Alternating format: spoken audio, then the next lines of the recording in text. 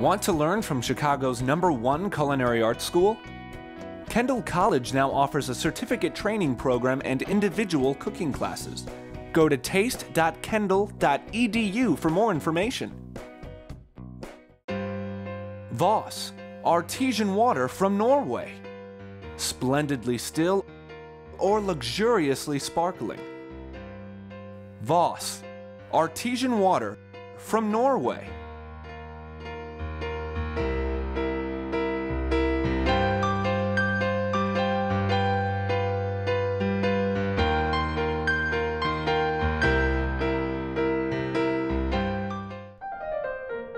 Disaster Planning and Response Art Rescue is a first responder for the world of art, providing planning, packing, evacuation, conservation, and storage for all your treasured possessions.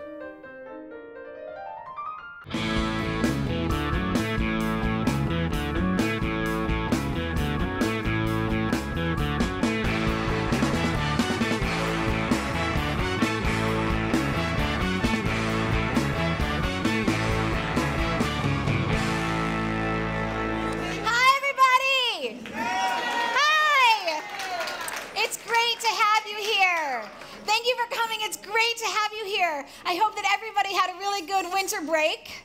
We did. We were asked to be on WGN radio, so we took the dinner party to radio, took it out for a spin on radio, and it was so much fun. I sure hope that we get to do that again. So uh, we had a great winter break. I hope you did as well, but we're back, and we're so excited to be here. Uh, for those of you, it might be your first time. My name is Elysabeth Alfano and you are at Fear No Art Presents the Dinner Party. So, what I do on the dinner party is I invite three celebs and a known chef who cooks for them. And over food and wine and chocolate and some performances, the conversations flow. And that sounds pretty good. But what's even better than that is that you are having everything that we're having. So tonight, and I can hear you guys already nibbling, tonight you've got food from one of the best restaurants in Chicago, Everest, and our chef, Joho, is here with us tonight. Fantastic. You've got chocolate from Vosges, and I see you're all doing a little damage on the wine already from City Winery.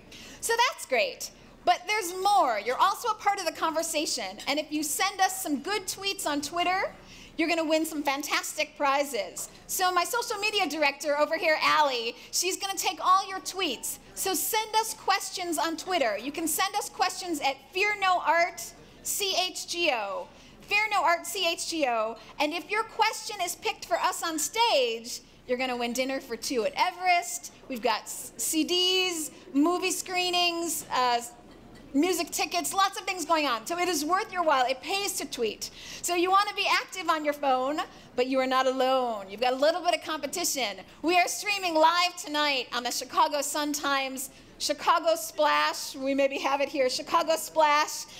Com dinner party. So if your friends could not get tickets tonight because we are sold out, oh yes we are, we are sold out. If they couldn't get tickets, they can watch us streaming li- live on chicagosplash.com dinner party, and they can also tweet in to win dinner for two at Everest, which is pretty awesome. So I'm going to give you guys some time to get up on Twitter, and I'm going to take this moment to thank my sponsors because I love them. So we have a brand new sponsor tonight, Kendall College, the very best cooking school in the land. They are here. I'm so thrilled. If you stick around, because we're going to have a little bit of an after party tonight, if you stick around, they're going to be here talking about the class schedules that they have and their certificate programs. So stick around for that. We also have Voss Artisan Water from Norway. Wonderful. You're sipping their water right now at their tables. Uh, DPR Art Rescue, the best art shippers, art handlers, art conservators, and furniture conservators in Chicago and the world. They're known around the world. I love them. We also have our, our media sponsors, and without whom I, I couldn't get the word out like I do. So, Windy City Times is so supportive, and the strong, smart, powerful, wonderful, warm, kind Tracy Baim is in the house, and she's also going to be sticking around for the after party, and she's selling her board game um, called that's So Gay, which is a little play on words. It's a trivia board game about all facts and, and historical uh, things about uh, gay and lesbian uh, famous people. So it's a great trivia game. You can kind of play it at the end of the show and, and talk to her. She's wonderful. We um, also have our media sponsor, the Sun Times, and I do love them because we are streaming live on the Sun Times right now, chicagosplash.com slash dinner party. Okay, enough logistics. You should be up and running on Twitter and ready to go. So let's get our show started. I want to thank our first guest who is so busy. He has to be the busiest man in media. He is a famed film critic around the globe, but of course, he is our own Chicago treasure. Richard Roeper is in the house. And I think he's coming.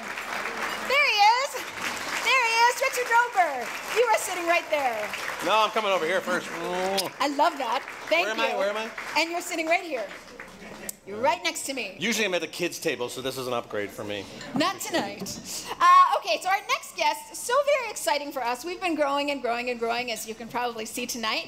And so I finally decided to buy one of my guests a plane ticket to fly in town because I love her so much. And uh, we're finally at the stage where we can do that. So our first out of town guest that we've flown in, she's an author. She's a poet and she is a powerful female rapper. Dessa is with us tonight in the house.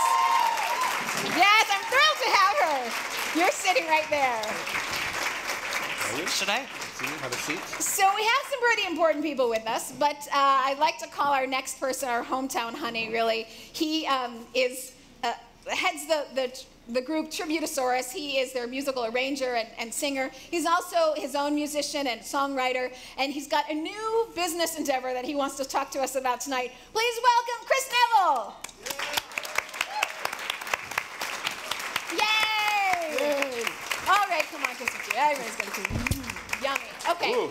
And then of course, little energy there. And then of course we have our famed chef, Chef Jean Joho, who is uh, toiling in the kitchen working on us some great stuff for us. So he'll be out in a minute.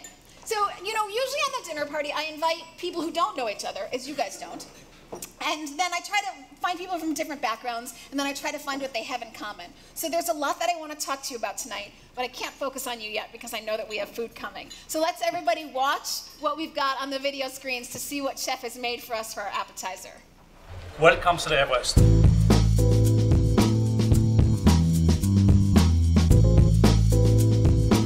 I'm Chef Joho. After 29 years, I'm still here. But now what we're preparing today is a carnaroli risotto with some wild escargot and Riesling. Let's go we start. You need to sharpen pepper shells. One trick, have a sharp knife. Here we go. That's it. We are sauteed some escargot. This escargot have to be pre-cooked around for 45 minutes before. You can see this is warm. We have pepper shallots, a little bit garlic. Stir the whole thing really lightly. We're adding the can smell it. Smells so good. Here I made a little bit of garlic water, the same as we use for the, the risotto later on. And we're adding a little bit white wine. I'm never shy, I just use the big bottle, it's easier. We're done with this. And we put it here on the side just to rest. Okay, risotto, olive oil. Don't be too shy. We make shallots.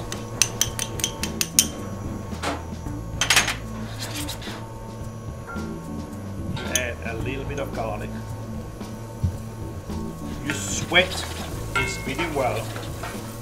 Sweating is as you have your shells, they come in translucent. You add the rice, half a cup, and you stir this really well as all the rice is coated. You see the rice comes almost translucent and you want to wait a little bit for that. Some white wine. You stir it again. And now the white all the way down. It's very important. It takes around two, three minutes. And now the fun part comes down after now. Now we have added here a very light chicken stock. You can use a beef stock, you can make a fish stock. I made a stock and now I'm adding little by little. And You can see spoon per spoon. You're adding some stock. And you do this now for 20 minutes. What is fun? When you do this in home, you have a party, you can stir, you can stir, you can stir, and you can stir, and you can have a glass of wine at the same time. Chef Jerry, you mind? I need a glass of wine. You mind to stir it for a little bit? That's why I can take a break. See how easy it is? You give somebody to help you, done light as to do. This is some parsley puree with, with watercress, the same butter we use for the escargot. Now, what you say here, they call it risotto alle ondule. See, it's like a wave. The risotto have to move. See, you don't want the pudding and you want the soup have to be risotto. Now we go here. Plate is the plate. This was your nice one plate. Here is no escargot. Now you can spread it out. You put a couple of little fresh basil in. Et voilà, risotto aux escargots. Bon appétit, madame.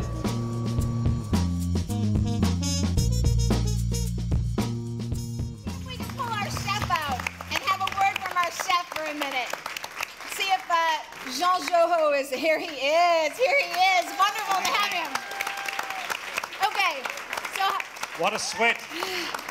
so how it works on the uh, we're going to get to talk to you for a little bit, and then I know you have to work back in the kitchen on our entrees, but we're, we'll take this moment to get in a couple things. So I would like to ask you, Mr. Michelin star restaurant, five diamond star restaurant, and you have been at this for so long 29 years in Chicago with Everest. I mean, most restaurants come and go after a couple years. Everest has been 29 years in the making, and of course, all these accolades. And so I wondered if you could tell us, you know, what does it take to be an ongoing five diamond restaurant? I have a debt well, I always say my entire staff. When everybody work for me know this really well. I always say, what is for me good today is not good enough for me tomorrow. Ah, When yeah. I say this every day, So you're always working forward. you always have to improve what you have. Well, the day when you stop to improve what you've done, you fail. You climb a mountain, so you're done, you fail. This means you keep climbing, especially when you have a restaurant like Everest, you have to. But I think, I think the key, su- but I think the, the key for success, you want to make your customer happy. And I'm listening also to my customer. And I think over these years, I'm listening to, the, to my staff, I'm listening to the customer. And I think that's a big help Yes, of course. but also keep a restaurant fresh. This means you know, can change everything every time, but you want to update it. The same as you update with the food, you can update it with the core, you can update with service, with the different plates what you're using, with the different wine lists. You have lots of little details what you can use, and maybe Everest you can make the huge changes what you do different. But I give you another example. I opened I opened the Paris Club four years ago. Right now it's closed. I'm remodeling already. Ah. Why I think what I was, I was a very trendy restaurant. When I think trend goes very quickly away, when I'm afraid also we go down, this means I'm changing now. It's closed and I'm reopening in about three weeks. Maybe even with a new name, but I think that's what I feel. You never keep still. On, the, on every restaurant, also to be successful, I have many different restaurants. I never have two restaurants what the same. I don't think you can duplicate what you do in one restaurant in a second round. One is individual. I think, I think every restaurant has my own style, and you don't can reproduce that. It's not possible. I don't can make Everest food in Las Vegas. I have a restaurant in Las Vegas with the Eiffel Tower restaurant. I don't can duplicate this kind of food. I have people spend some time with me, work with me, or train with me. They know my philosophy, but I don't can do the same. The one you have a different clientele, the restaurant looks different, the whole the whole ambiance is different. That's the reason you want it different. When you're looking like the past, I have a basket joint Boston, it's different food again. I think I never like to duplicate twice what I'm doing.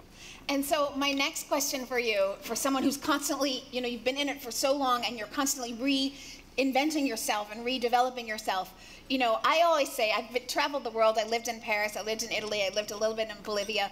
And I always say we almost don't realize how many fantastic restaurants we have in Chicago until you leave it, and then you're like, oh gosh, our food's just really that great. So now it's been all news that you know Chicago finally has as many five diamond restaurants as New York, and I wondered what you thought about that because I think we are so close to New York. Well, I think Chicago's on the map. And when I came here 30 years ago, was not so much gastronomy in the town what is today. Right. But also, I think Chicago always have a bad reputation. When I heard about Chicago, or the Midwest, I always heard meat and potato. And that's not true anymore. It's Maybe it was 30 years It ago, was, but today it's it changed. anymore. And I think today your sophistication. Number one, I always talk. I have a couple young students worked for me 30 years ago. I hope they're good today. And certain people have restaurants today, and they are chefs and open their own restaurant. But again, the evolution changed. Also, what changed the most, I only use fresh American ingredients. I'm talking for fresh, like the rice is Italy, and I will talk about later on about the rice. But I only use American ingredients. And trust me, 30 years ago was not a lot around. Everybody think you have a French restaurant, you have to use French ingredients. No, the time was you fly, you're fishing from France, you can imagine. Woo! Anyway, Yes, yes. yeah, but, but I work with a farmer. I work with a farmer in Michigan. I have my fisherman. And I, th- I think that's where you see today, number one, the media is wonderful, but also go to the stores today, what you can find at the store. It is no matter what kind of country you have the food, it's not in one country where you have the fine dining, but look what you can find in your grocery stores this day, compare what you have 30 years ago. Yes, right. And I think this is, I like, I, I, I'm very happy to be a part of this city, or this happened. And we're talking is, is still a lot to do. I think Chicago is still a city in evolution, and that's, it's just so great to have that. Yeah, it's so great to be a part of that evolution. But I think when we talk about food, we talk about everything else. Here, look at all the talents where you have on, ta- on this Yes. table. That's all a part what Chicago gave. It is that You- creative energy. yeah, you heard the youth, the Chicago Symphony youth. This is the next generation. And they this were is like the young chefs. This is like the young chefs we Yes. need when they're coming up. Yes. When I think it's just, it's just evaluating so fast. When I think today, Chicago, Chicago never be New York, but it's nice as the people start to compare us with, Chica- with New York, and I think it's wonderful to see that. Well, I want to thank you for coming out because I know you're going to duck back in the kitchen and you're working on our entrees, but you're going to join us a little bit later. We'll have you right there, and maybe with a little wine in our system, we'll all understand him a little bit better. What do you think? You got it. Yeah, so I know you're going to be back with Thank us. you. Thank you. But you know Yes. what? I want to add just one thing with my ex wife. Why is it French to have risotto on the menu? And then I, I'll leave after that. But I lived 10 years in Italy. I own the restaurant in Italy. I think my Italian is better as my English. I can prove it. I'm talking right now. And that's the reason since as the restaurant Everest is open, I always have a risotto on the menu. And I was the first one in 80, uh, 29 years ago, and the New York Times made me have a page. I was shocked. I was not expecting. I just made a very simple risotto, and the New York Times at the time the best risotto in the United States. That was easy. Nobody else did one. I'm guessing that's the reason maybe why they gave me that. But I think you have to be open-minded. You have to be traveling too. But I think it's where I went to the base. I think yeah, I travel a lot. But the food what you will have definitively Everest is always my homeland where I'm coming from, from Alsace. When you have always some Alsace touches in the food, and that's what you will find out tonight. Enjoy your evening. I'll see you later on. yes, we'll see you in a little Thank bit. you, Chef. It's Thank a you. huge treat. This has been wonderful. Thank you, Thank Chef. you. Thank you. Thank you, Chef. so, uh, I we have have to say, drink up. I, I'm sorry, but I have to say that this is one thing that always happens when you talk to a chef. When they say goodbye, the conversation is just starting. it's always it's that true. way. It's true. Uh, so, okay, now that we've got something in our bellies, I wanted to bring you all together. So, Chris, we were saying, lead singer for Tributosaurus. He also writes his own songs, and now you've got a new business endeavor that you're going to talk to us about, which is so fun. And Dessa, so she's a, a rapper, and she's also a poet and an author. You don't know these guys, you're not even from here, so it's so fun to have you here. And Richard Roeper, film critic, but you also do other commentaries. Um, you're with Starz and you're with Reelz channels. You do so much. I don't know how you do it all. To me, the thing you, you all have in common is that there's really no delineation between your career and your life. You're basically living your life all the time. And I wanted to ask you how each of you got into what you're doing now, but more importantly, when in your career, I'll call this your career, but it's your life, did you realize that being who you are, your full self, is your biggest asset. Because basically, you guys are yourselves professionally. I mean, you, you've found your love and passion and you've made that your professional life, and there's no real delineation with your personal life. So I'll start with you. Okay, I think I just realized that just now. Thank you. Shit, I gotta get a life. Oh, No life. I have no life. Oh my God. Give me a second. No, I mean, I, I think that's true of anybody uh, is it's it's true of anybody in the arts, I think for sure, because you have to you have to put so much of yourself into what you're doing for it to be real. Otherwise, uh, people can people can spot a fake, and people Mm-hmm. know when Yeah. It's just uh, something you do on the side. And if you really believe in it and really want to uh, to succeed in it, you need to bring your full self, self to the table every time. Right. Um, that's that's been my experience anyway, and I, I think it's it served me well most of the time. It can cause trouble once in a while too, but I, but but the truth of the matter is, if you don't do it, then you'll always be an also ran. You have to you have to bring your full self to the table every time. I, I ask this question because you say, you know, a lot of artists do this. They they bring their life and, and their life and their career are sort of one and the same. But I think, you know, when you realize that your true self is the most powerful asset you have, you've you've then empowered yourself. And I think that's true whether you're an artist or you're just working as an accountant somewhere. When you tap into your authentic self, you become sort of your strongest self. Mm-hmm. I wondered for you, when did you realize that being your full self is going to be your biggest asset? Yeah, I honestly think like I'm still really actively negotiating. Even today, it was like I was coming here and I'm, you know, I'm staying at like a.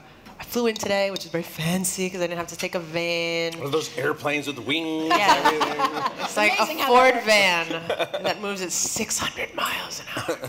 and um, and I was getting ready. I knew there'd be cameras, and I was like, well, I don't. I, even just the decision, like, okay, how much concealer am I gonna put on under my eye? That's real. You Oh, know I what I mean? that, And like, as as as uncomfortable as I sometimes feel, like flipping through the pages of a beauty magazine at the gym or whatever. Not that there are that those images exist, but that those images have become standard. Right. Like, well, to what extent do I want to participate in perpetuating that as the absolute standard aesthetically for women? And I caved. I put a lot of concealer on under my Oh, who didn't? Come on, raise your hand if you did. Come on. Yeah. But I, st- I think I'm still figuring it out. I think at first it was like there's no delineation, but now as I as I get older and, and maybe just live live in the in the life and in the body a little bit more, I'm like, um, I don't know. I think there's something to be said for artists who let the work stand for itself as well. So I'm not really sure where to land. Yeah. Uh-huh. Yes, right. And, and and not that easy either. So what about you? When did you realize that, you know, just being your full self was going to be the mm. best thing you I think that's a wonderful question. I talk to, I go to various colleges and universities whenever I can and talk to kids who are trying to become filmmakers or critics or writers. And I tell them, you know, what I learned early on was try to find someone who shares your passion for what you are passionate about. And the most important thing that the the late Gene Siskel would say, there are two things about becoming a movie critic. A, love movies. B, find someone who will pay you for your opinion. You know, but you know, early on, I mean, it was funny because I was just actually in uh, uh, in Denver where the Dish Network is at, and I was doing a couple of you know, things for them, and, and the cameraman said to me, he goes, "Do you work weekends?" And I, I, it was the same kind of moment of self-realization, and I'm like. I've pretty much worked every weekend my whole life, but I don't Yes. consider it work because I love movies. Yes. I love radio. I love Yes. television. I love all the things I do. So yes, it's work, but it's never felt like a job ever. So, Yes, you know, right. I, I tell young people, look, you're going to work for 40 years. Why don't you do something that you believe in, something that you care about, Yes. and don't just do it for the money. Don't try to plot a career. Embrace your passion and try to find a way to make a living at it. Yes, yes, yes. I, I so agree. So I wanted to talk to sort of um, taking that even a step further. I wanted to talk to Dessa a little bit about your work. So um, maybe someone, if, if you're under 25, tweet to Fair Art Chicago CHGO because I would really like to know why there, you know. So we just had a woman CEO named of General Motors, right? Very recently. Women are um, surpassing men in not only enrolling in college but getting out of college. So you're seeing all these like really empowering steps going on.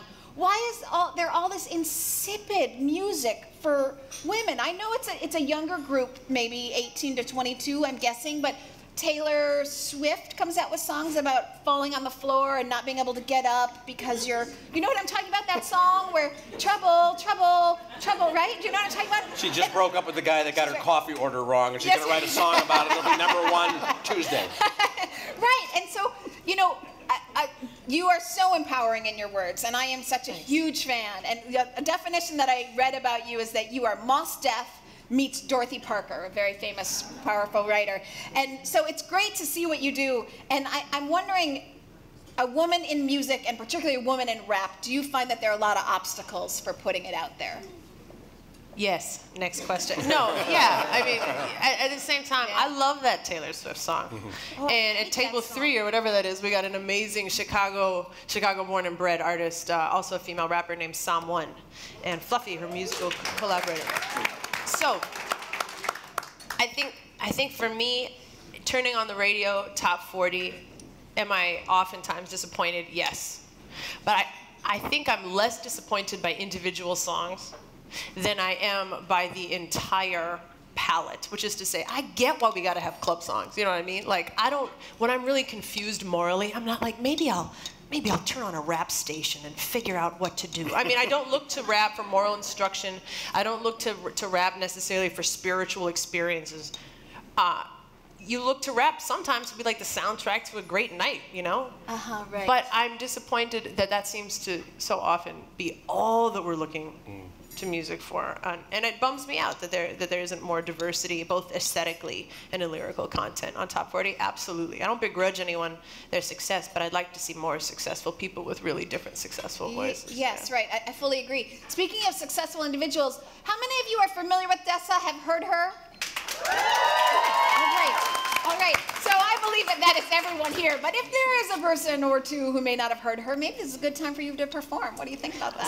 It's an expertly he's done segue. Met here on stage by guitarist Matthew Santos, and he is coming any minute now. He is coming up on stage. There he is! Yay! Oh, give it up for Matt. Come on, give it up for Matt. And if you are not a fan of Dessa's, you will be in about three minutes. Thanks, Matt, and thanks for the introduction. I'm backing up so you don't whack me with your headstock. I'm backing up so you don't whack me with your headstock. Just gonna plug that into the back, and it should. Yep. that's, There you go. That'll work. Producer credit for doing that. I will take 6% off the top. uh, this is a song from Perfunctory, um, Perfunctory promotional spoiler alert. This is a song from my most recent record called Parts of Speech, which is available at one of the little round tables in the back of the room after the show. Right here. Sold by me, out of my back pocket. And uh, this is a song called Call Off Your Ghost. Thanks for the chick who just whispered yes. I heard it too. I heard it too. I'm gonna tune too.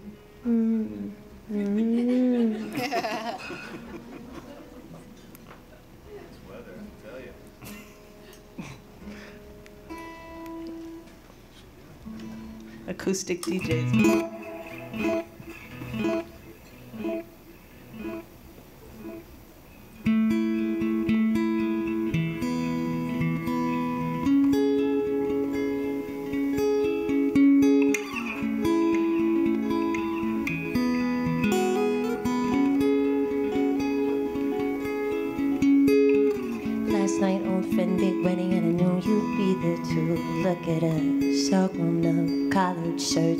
Heeled shoes. You cross the room, just the decent thing to do. Make sure we'd all been introduced. You brought your new friend, I brought mine. Shake hands, make courtesy, it's due. But it takes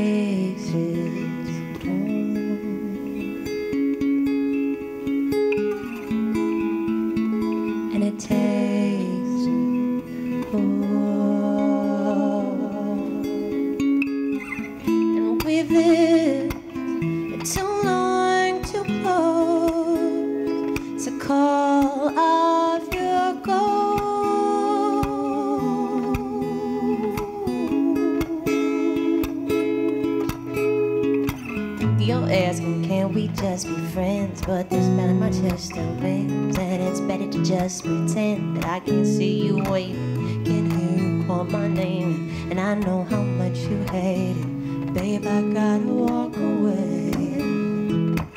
You once said if we were careful, that we could do this all our lives.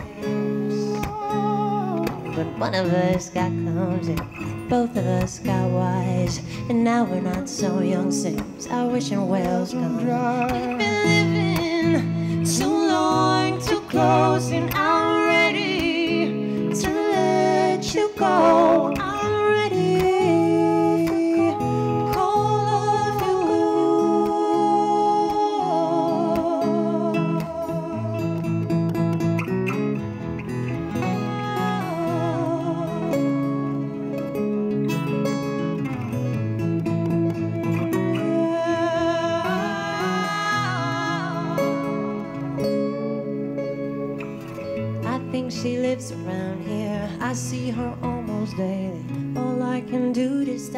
myself from saying something crazy. I don't think badly of her. I hope she makes you happy. It's just a lot to ask, so watch your future walking past me. And I know that jealousy's a perfect waste of time. But left to my devices, I've spent far too long wasting mine.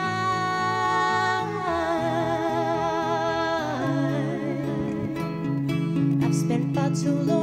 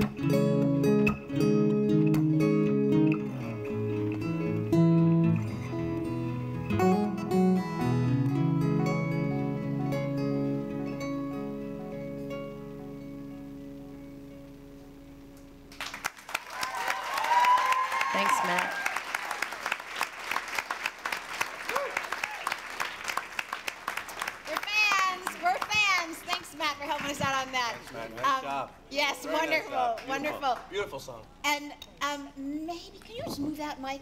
Sure. Thanks. Then. Can I, can I jump in and ask a quick Yes, question? please do. First of all, that, that really is it's a beautiful It's song. beautiful. I'm just kind of curious as to who would you list as some of your musical influences? Oh, Because the wait, wait, guitar wait, wait, wait, reminded me of a little. Oh, I'm, I'm No, no, it's okay. thunder. No, no, it's okay. No, you go. You go. I'll It's a dinner I'll- party. I'm the guy that always. It's Downton Abbey. I'd be like the servants thing right now. They'd be going, "Oh, Mr. Barrow, really? You're overstepping your boundaries again. Just serve the I'll work around bleeping turkey."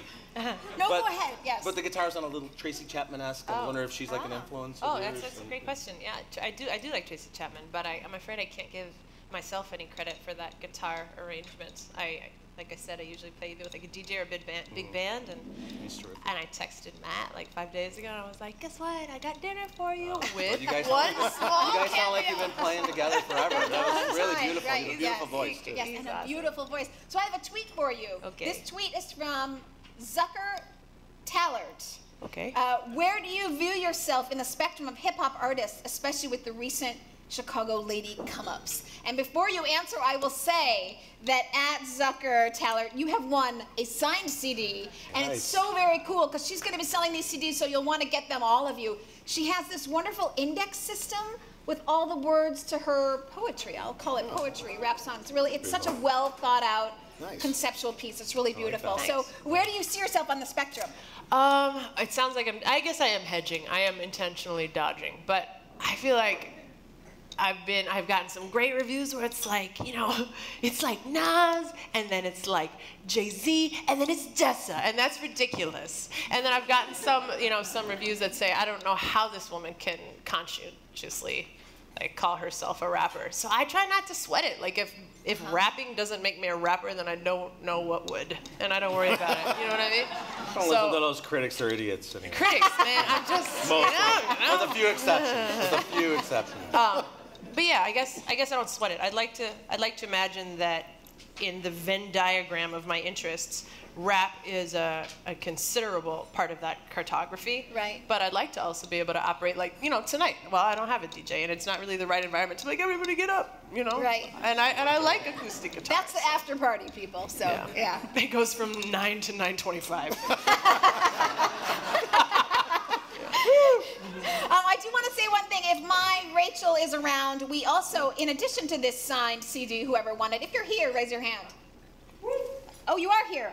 Because you might be on the Sun Times streaming. I don't know. Uh, Rachel has a really big box of Vosges chocolate for you as well. So you have one enormous box of Wow. chocolate. I don't know if you can see this. It's an enormous box of chocolate and the signed Dessa CD. So that's what you get for tweeting. You see, I will give you another copy of that CD if I get three pieces of that chocolate.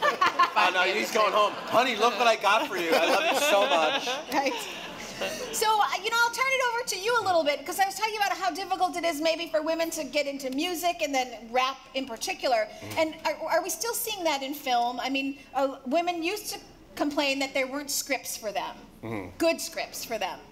I think in terms of filmmakers, that's changed a lot. You know, when you see somebody like Kathryn Bigelow, who's got bigger than most men, let's just say, leave it at that, is a great director. I mean, it, it used to be, oh, it's a women's film, a woman's film, you know, probably going to be sort of an indie, Nora Ephron type writer-driven kind of yeah, thing, and that that's changed. I mean, you know, it, it's still unfortunate that we don't see as many good roles for actresses. It's Right. like Meryl Streep gets nominated for an Oscar in Every years year. when she doesn't make a movie. She still gets nominated. Oh, Meryl Streep for going to the grocery store, and she's amazing. I mean, she's 18 nominations, you know. And, and this year we've seen some great, you know, roles for for Judi Dench and actresses of a certain age. But usually the men just get to keep on acting. They get Right, to keep on yes, acting. yes. But I, you look at a career of somebody like a Harrison Ford or Michael Douglas. Like you look at the women who played their wives in their early roles. They're not even in movies anymore. Right. And Michael Douglas, he just keeps getting younger and younger wives. Gwyneth Paltrow, oh yeah, she'd marry Michael Douglas. Uh, you know, uh, the, the Olsen twins, oh yeah, they'd marry Michael Douglas. So I, I, I think that's still a problem, and I think Hollywood's still missing it there. That's one of the things they're missing is finding more roles for women who aren't just playing the girlfriend, the sidekick, the ingenue. Right, right, right. And do you see that changing, or we're going to be stuck I think it's it's getting better. It's getting Right. better, but we still have a long way to go. So I think of you, and and for all of you, actually. I think of me all the time too. What's the question?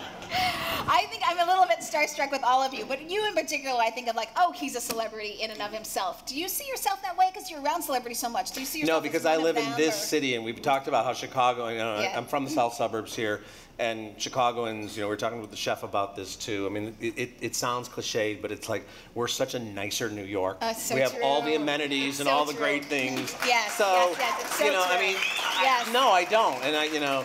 Uh, I just don't think of myself that way because I live in Chicago. And one of the great things I think that, that Roger Ebert and Gene Siskel did when they first started doing the show, and Disney bought the show, and it was going nationwide, and there was so much pressure to bring the show to Los Angeles. They're like, no, we're going to keep it in Chicago because we don't want to become part of the Hollywood community. The show was always about should you guys spend your ten dollars or eleven dollars on the movie, and Yes, that's you know yes, what yes, keeps you grounded. So people in Chicago are just as likely to come up to me and talk about the Blackhawks or the White Yes, Sox or what's happening in the city as they are about movies. And sort of, um, I don't know if everyone knows this. You also do commentaries on other things besides movies. Yeah, yeah. I mean, Yeah. I started off. I was. I did not start off as a movie critic. People ask me like, you know, I got the job on the show, and you know, I'm like, well, the Sun Times already had a movie critic. His name was Roger Ebert. You know, I was writing a of him, column. yes. You know, and I, I, you know, my column was always general interest. Most of my Right. books are not about movies. I yeah, mean, so I'm he's an author as well. Several books. Yes.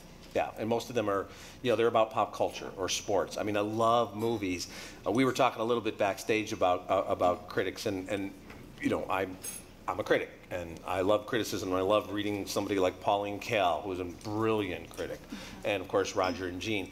But I think in some cases critics become so ensconced in the critic world, in the critical world, and they write for each other. And I think just being a film critic is a dangerous thing. Mm-hmm. You have to have a life outside of there, or a music critic, or whatever the case may be. You should have more interest than that mm-hmm. because they, they get a little bit too much, you know, insulated from what's happening in the real world. And it helps you be a better critic, no? Abs- absolutely. Just like with every art It goes form, back to what you were saying about how our lives are our jobs and our jobs are our right, lives. It's yes. all it's all integrated. Interesting you mentioned that because Jim DeRogatis, music critic, which is how I discovered you, is on Sound Opinions. Thanks, Jim. Thanks, Jim. Jim DeRogatis was here last show, and he was talking a little bit about that, about how you can get so ensconced in just writing for other critics almost. Exactly. More than really an audience. Well, so the, the question that you were going to ask Dessa, I was going to ask you and Dessa and Chris. So you have interviewed so many people. Who would you like to interview, and who would you um, also like to play with or be with? But I'll ask you first, and we can go around. Well, I've been very lucky in my career. You know, when I first came up, the coolest thing to me was when I got a chance to meet the, you know, the film legends that I grew up watching. I, you know, I remember, it, I remember meeting Paul Newman, and, and this is the thing about. I'm sure you guys know this too. It's like the bigger the star, the more down to earth they are, Oh, and it's like so the, it's like the little shits on the way out on the way up are the ones that sometimes get too full of themselves. It's like when I met Paul Newman, he walked up to me and he said, "Hi, I'm Paul," and I was like, "Really? Yeah." But he knew gas that he was like, hi, I'm Paul. Yeah. And it's You like- know what I mean? Yeah, yeah. I mean, th- there could be some of that, but I mean, I, I think you know they get to a certain point in their careers where they're not looking to you know kind of win over the press, and he's just comfortable, and he realizes that Paul Newman or when I met Tom Hanks, they realize that the few minutes you're going to have with them, you're going to talk about forever. They're going to forget about it in 20 seconds. So they're very professional about it. So I've you know, I've been really lucky. I've had a chance to interview just about everybody. I mean, I haven't had that Miley Cyrus sit down yet.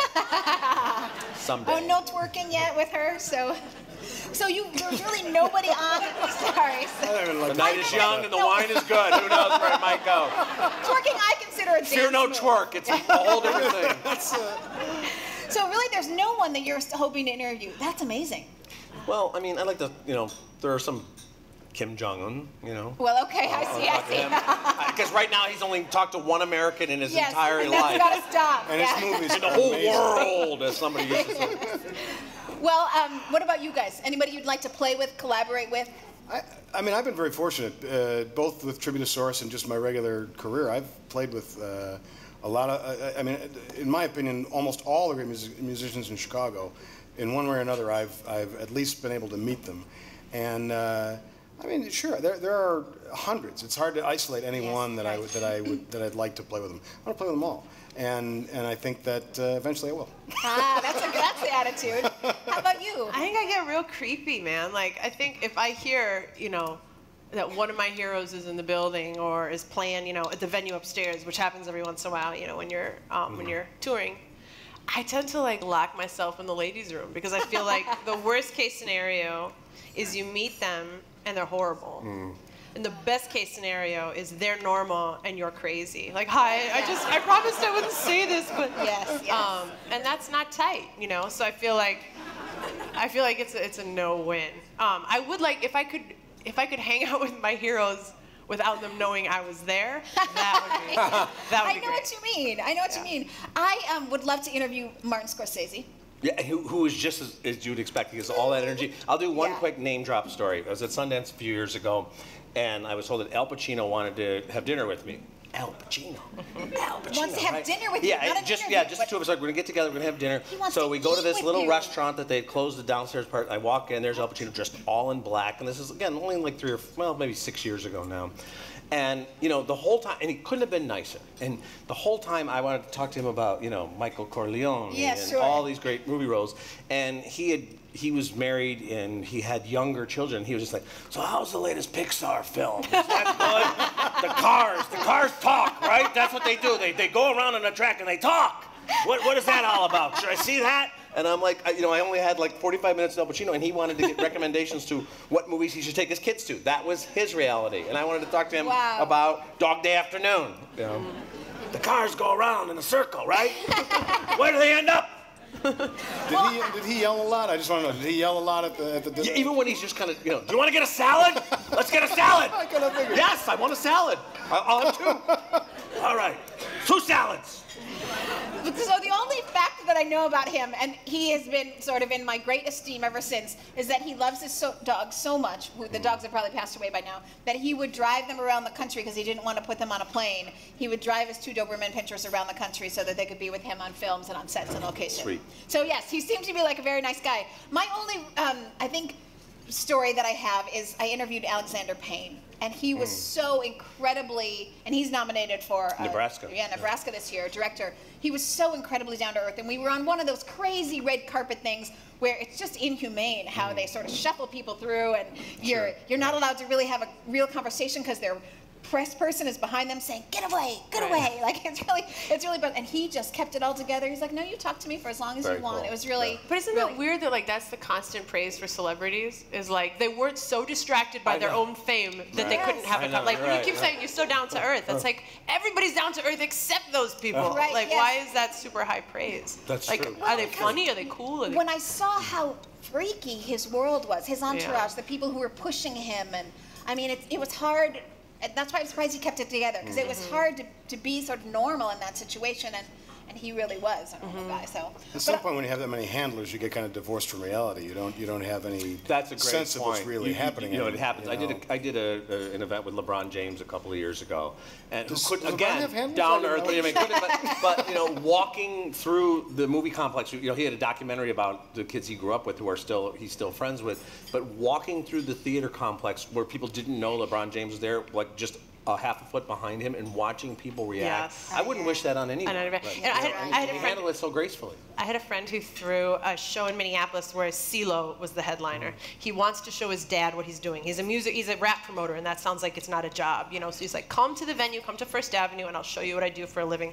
CeeLo Green is in the back room. This guy brings in his dad. You're gonna be the dad. and You're gonna be CeeLo Green. Okay. He says, "Okay, Wait a dad." minute. I'm gonna be CeeLo. Okay, I'm the dad. All right, I'm CeeLo. Hey, Dad. Forgot you. Forgot you. CeeLo, I'm sorry to interrupt. I just want to introduce you to my dad.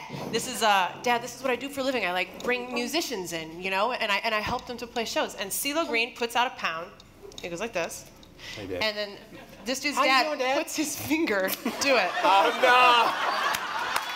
Oh no! and only only you two know. You know that that's visually funny. Only Yeah. you know how disgusting Yeah, that that's feels. horrible. It's like, oh my god. I gotta tell you, it's not so great on my end either. Uh, I think I was supposed to do the sound effect there. No, no. That's classic. that is pretty damn funny. Um, we are going to give you a tweet, and this person, Suzanne Scores, ooh, nice score for you. What are we giving her exactly? Because we keep changing it, and it keeps getting better. I'm putting together uh, a prize package, a couple signed uh, copies of some books of mine, uh, some new DVD releases, and uh, I'll get this person into an advanced screening of a Hollywood film. Two passes, so they can bring somebody in. So that's what you get for tweeting, Miss Suzanne Scores. Good for you. And her tweet for you is Do you feel tempted to critique TV shows now, now that they've figured out, uh oh, now that they've figured out how to capture the home audience? That's a great question. You know, this is a, a conversation that happens all the time now because uh, TV, television is a writer's medium and film is a director's medium. It's always been that way. I mean, if you don't have a great script, you're not going to have a great film. But the, the producers and creators, what they call showrunners of television shows, are the writers. And right now, we live in the golden age of television. People talk about the 50s or the 70s, forget about it. I mean, the quality of writing in television right now, when you look at, like, I, I believe that Sunday night, 2013, is the greatest night in the history of television. When you look at all the shows that are on, whether it's, you know, Breaking Bad Yes. or Mad Men or Game of Thrones, and it goes on and on and on. And it's great, Walking Dead, and it's cyclical because it's different channels. So even when one series ends, Downton Abbey begins. Yes. And the writing is so amazing. And one of the great things you're seeing now, when I was growing up, if you were a film actor, you didn't do TV. All these TV shows you guys see as reruns, you know, those were film actors who couldn't get jobs anymore. We go back to even back to Lucille Ball. She was a great film star, and then she had to do TV, and that was always the way it worked. Now it's interchangeable. HBO has a new eight-part miniseries called True Detective.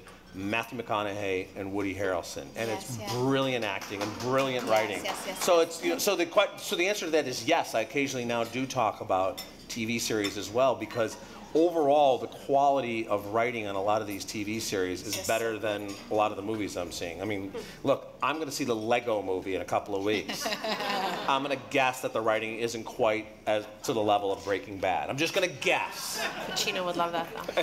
I, I don't interviewed. The Lego movie. No preconceived notions. Go in clean. Yeah. Yes, Could be that's better. true. Hey, you know what? I always, I always do. You, never know. to. You know what? I thought one of the stupidest decisions ever was when Disney said we're going to make a movie based on a theme ride, Pirates of the Caribbean, Yeah. which was a shitty theme ride. Even you know, it wasn't even good at that. And it, you know, four billion dollars later, they win. with Johnny Depp, of course. I interviewed Sandra Bernhard, and she said the same thing. She's going to start to do TV now because she just felt like that's where it is, and sort of not that films are not helping your career, but for her career, she really felt that it was TV. Well, to go back to your question too about women in film, you look at the actresses who are fronting these TV shows now, whether it's Glenn Close or Holly Hunter or Jessica Lange. At least now they have a great place to go with their amazing talent. Yes, yes, yes, so true. So we're talking a lot with Richard Roeper, but maybe we should see, just in case there is maybe one person in here who doesn't know what he does. I doubt that that's true, but let's take a little glimpse at what he does. We've got the good, the bad, and the ugly. Let's take a look. I'm Richard Roeper, and this is the good, the bad, and the ugly for the week that was. The good, it's us. We survived Siberia. With typical grit and heart, Chicago area citizens coped with and in some cases even thrived in brutal conditions.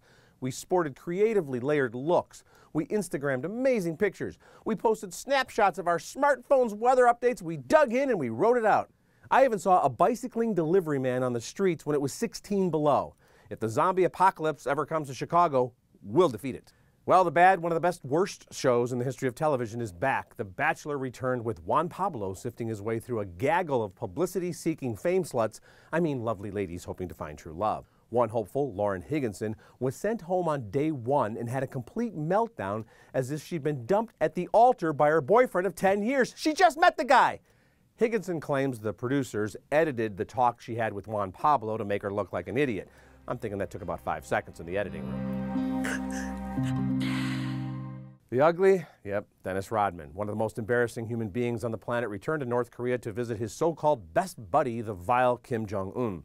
Now imagine if somebody like Joe DiMaggio had traveled to Germany to sing the praises of Hitler back in the 30s or 40s. Rodman singing happy birthday to this despicable thug is just as reprehensible. Now Rodman is apologizing to CNN and Chris Cuomo and the family of Kenneth Bae, saying he was inebriated and stressed out when he had that meltdown on CNN. I'm gonna ask what the hell you think. I'm saying to you, look at these guys here. Look at them. Still hasn't apologized for being best friends with the worst human being in the world. I'm Richard Roeper. This is the good, the bad, and the ugly.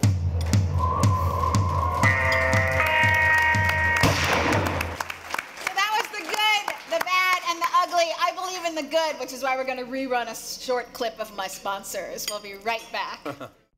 Want to learn from Chicago's number one culinary arts school? Kendall College now offers a certificate training program and individual cooking classes. Go to taste.kendall.edu for more information. Voss, artesian water from Norway. Splendidly still or luxuriously sparkling. Voss, artesian water from Norway.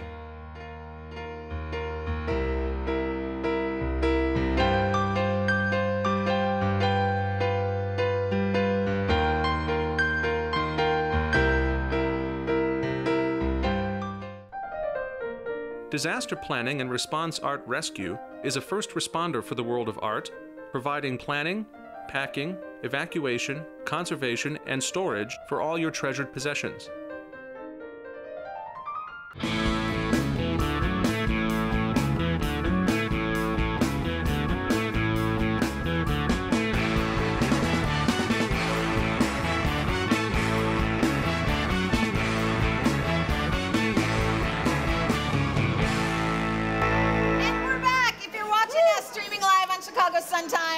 I'm Elysabeth Alfano. We're at the dinner party with Richard Roeper, Dessa, and Chris Neville. Our chef tonight is Chef Joho, who is here. He's going to join us in, in a little while. He's also signing cookbooks tonight, which is very fun. So stay with us for the after party. So I want to talk to Chris because I think one of the tricky things about being an artist is when the artist has to shift and become the business man or woman. And that's not always an easy shift, right? Because as an artist, you're sort of able to see the forest and really sort of think of the big ideas and the concepts, and then you got to shift and sort of see the trees and work on all the mm. details. Tell everybody about your new project that you have going on, which is so cool, and then how you've made that switch, which is hard. Well, uh, I'm still making the switch, but uh, I have a, a new place uh, out in Berwyn, about 10 minutes west of here, uh, called Wire, which is a music venue. Um, Yay! Yeah. Yay, Berwyn! Yay, Wire! Yay, Berwyn! It's, uh, it's a music venue, but there's also a music school in the building. And we're building studios and uh, putting in a record label in the spring. And the idea is that it's a, uh, it's a complete one-stop music creation space. And it can take you from point A to point B, whatever point A might be, or point B might be for you. And why did you create this? Because I don't, I don't know if you, I, I, know people are getting their food, so I don't know if everybody heard you. I mean, that's a lot going on in one space. Mm-hmm. Music venue, school, a recording studio. Why did you decide to do so much? Well, I, I, mean, I think that for me, the the music industry has suffered a uh, uh, a dearth of collaboration of late. A lot of people, everybody's got a little computer in their basement. They can rec- they can record everything by themselves. They can find loops that fill in the places where people used to play, um, and that's good. There have been great things that come out of it, and it does uh, teach people the tools better.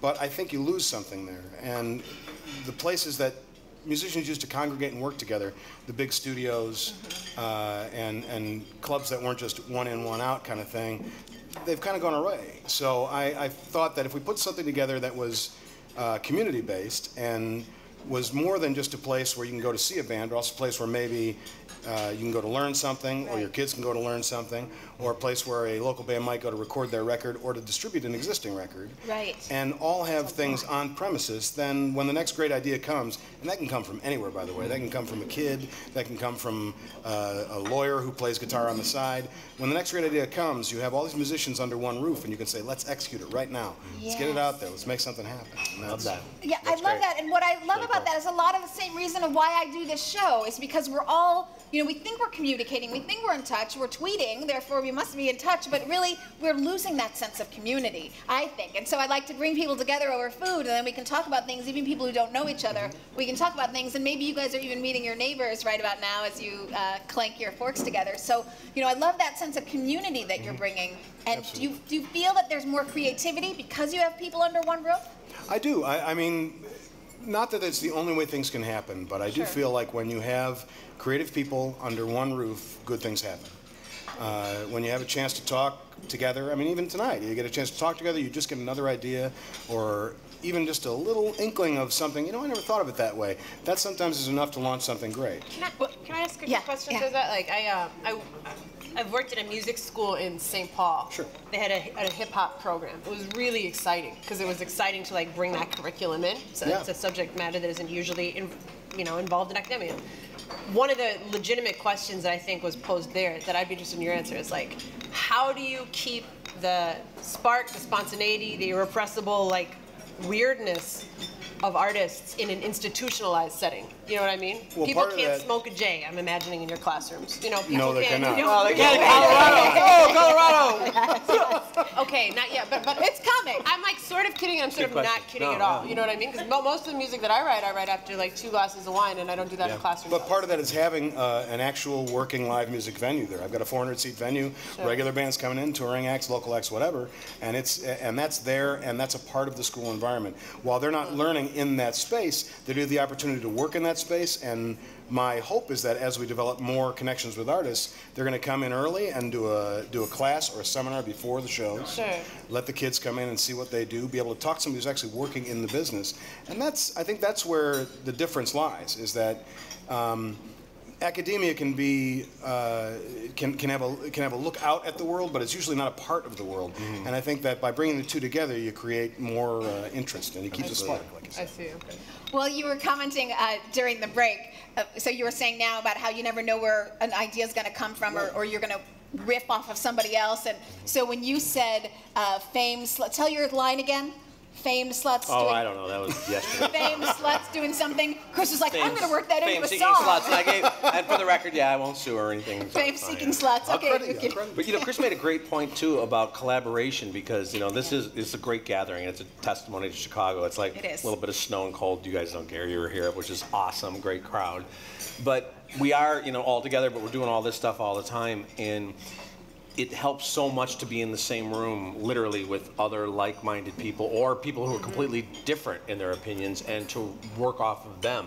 I mean, I do a radio show. Roe Conn is my Yes. co-host, who's you know a brilliant host, Yes. and we you know we feed each other and we and you play off each other and this is one of you know I, I still love reviewing movies but you know not only do I miss Roger as a, a dear dear friend but I miss the back and forth you know to, to, to give a review to a camera and get feedback from you guys is great but to do a show where you know that's what the magic of that show was that Roger and Gene created I didn't create but to hear what the other person says you know and, and that I think is so important for artists you know to be in the room with other creative people I think it just probably elevates your game right It does. I mean, to be honest, like I'm part of the generation. Like I'm, I'm the kid with the laptop. You know, I record all my lyrics in my closet still because I got used to that. Wow. And, I can do it in my gym shorts. And if it takes me 85 tries to get the line right, because I, you know, I'm not. I'm not probably going to win any award, awards for being a vocalist, but I'm cheap as hell when I work for me, you know, and I, and I take Right, direction yes. really well. Um, yes. But I, but I, I work a lot to like, is this right? No, should I try it again? And eventually I get shy if I if I do that in front of an engineer who's on the clock 80 times. Right. On the other hand, maybe I'd find that if I was forced into that environment, I'd develop a new set of skills. But everything you just said made sense. I'm Well, it's, it's not do an get either or, in a? You're I mean, right. It's, yeah. it's not either this or that. I mean, all those skills you develop there are incredibly valuable and can bring you to a position where you have an idea that's pretty fully formed. But I've always found that it's good to have an outside opinion. It's an echo chamber when it's just you. You Yeah. know, you, whatever idea you think you've got going on, maybe it's great, maybe it's not. But Right. without somebody else to look at it, it's very hard to judge. Absolutely. You know. I finally have a tweet for you at Bonnie Jor. Not finally, but because I was, I, I don't get great reception in here. I don't know if you guys have that problem. So um, sometimes my phone gets sort of stalled. At Bonnie Jor. Any advice for someone entering the music business? This is probably for both of you, but it's for Chris, which means this for and and Essa. But you guys are winning two ticks to Wire March 13th. March when- 15th. March 15th, thank you. When Tributosaurus becomes Van Morrison, and I have seen Tributosaurus Oh, become Van wow. Morrison, Very and it is cool. so St. Patrick's Day good. weekend. Nice. Yeah, go so to good, Irish right? yes, there, baby. Yeah, Now go Take a Irish. cab. Yes, I love it. Yeah. Yeah, so you won those tickets. Nice for you. I love it. So what advice would both of you guys give for people entering the music business? That's a pretty wide open question. I mean, there, there's so much to do in the music business. That's that's one of the things. But if if you want to enter music as a performer, perform. Go out and, and, and start doing it. Just I mean, do. it's uh, it's hard as hell, and you won't make a lot of money. But if you can if you can pursue it and actually get it going, it's very it's it's the best thing in the world. Right. I would say be excellent. Like legitimately, a lot of people are worried about getting their demo straight before they're worried about getting their chords down or they're worried about getting their writing right. The other thing I'd say is keep your overhead low, unless you're the recipient of a trust fund. Get your coffee, drip coffee. You can put all the shit in it at the little bar behind you. They have milk, they have sugar there. And every hour that you don't have to trade, earning your rent is another hour that you can dedicate to mastering your craft. I so agree point. with this because to Yeah. get this show going, we were talking about during the break how many logistics it takes to get this show going. I trade so much, and hmm. because I have to, because we don't have that much money going on. And what I find is that it's not actually the people who have the most talent, and it's not the people who have the most money, and it's not the people who are the best looking. It's the people who are willing to work the hardest, so get themselves to that mm. point of excellence, and it's the people who can make their money last the longest. Absolutely. And it's the people who are willing to jump in, or not to not yeah, be you, afraid. you really do have to be an entrepreneur. It's like it's a, it's all about you know when I was having my Voss water earlier before I had my city Thank winery you, because they're my and sponsors. Thank chocolate, you. and I was dining Oh. this fantastic Everest food. You have to understand that there's two sides to the business. It's show business. Yes, yes, yes. It can, it can get tricky for sure. Um, but speaking of tricky, because I would like to talk to Chef Joho about that same thing. I've got a great question for all of you, and I want to pull him in. But before we do that, let's take a little look at his video of what he made for our entree. Welcome back. After a long trip, I'm back. But this time we do a main course. What we're doing today is a fillet of wild sturgeon wrapped in ham and braised in cabbage Alsace style. You will call sauerkraut, but I'm really nervous when I call sauerkraut. In general, when you talk about sauerkraut, it's content think it's something really sour. Not cozy, you know, it's so bad. This is very slow cooked. It's very smooth. It's like silk when you eat it. And that's what we use today. What we have to start to do, we lay out the ham in, in really small layers. And you say you cook it really fine. And the way would you see it, you take the length of your piece of fish. Okay? This is your base. Now, the next step,